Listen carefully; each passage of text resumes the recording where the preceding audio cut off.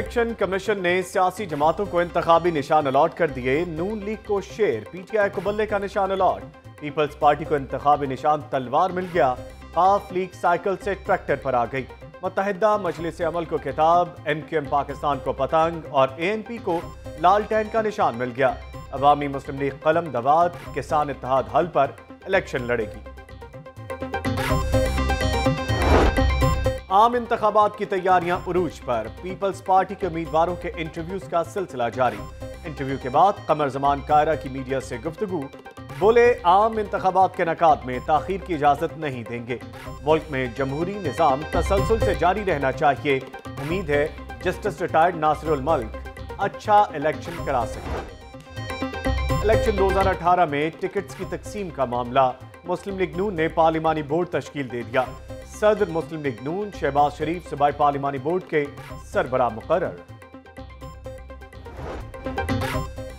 Ring road interchange پر مبینہ، police مقابلہ۔ چودہ سالہ لڑکا ڈالفن اہلکار کی فائرنگ سے جام باغ ہوا یا ملزمان کی فائرنگ سے معمہ حل نہ ہوا۔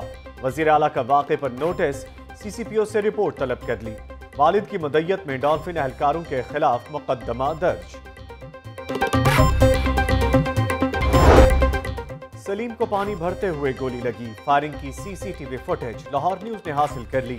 فوٹیج میں ڈالفن اہلکار سیدھی فائرنگ کرتے دیکھا جا سکتا ہے۔ گاڑی میں سوار پانچ ملزمان گرفتار، بغیر نمبر پلیٹ گاڑی بھی پکڑی گئی۔ گرفتار ملزمان ریکارڈ یافتہ ہیں۔ ڈکیتی کی وارداتیں کرتے تھے۔ S P dolphin, Nadeem Khokhar کی لاہور نیوز سے گفتگو۔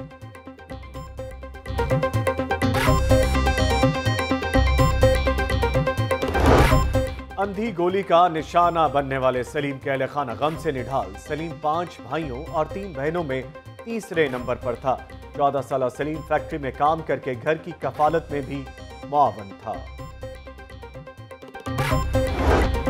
آج چیمہ کو دوبارہ نیب کا مہمان بنانے کی تیاریاں، آشانہ اقبال سکینڈل کے بعد غیر قانونی احساسوں کا کیس تیاری کے آخری مراحل میں کیس کی تحقیقات کے لیے تفتیشی افسر تعینات کر دیا گیا۔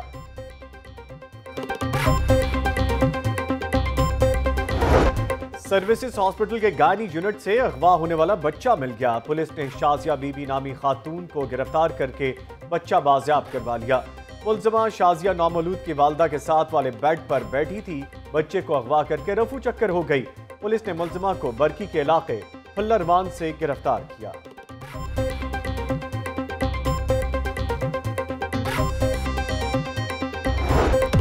اور قومی کرکٹ ٹیم کے کھلاڑی بابر اعظم وطن واپس پہنچ گئے۔ بابر اعظم انگلینڈ کے خلاف میچ کے دوسرے روز زخمی ہوئے تھے۔